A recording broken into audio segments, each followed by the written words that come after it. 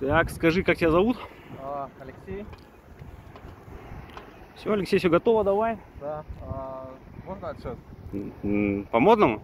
Да, вот с медведями. Давай. Реди! Стеди! Медведи!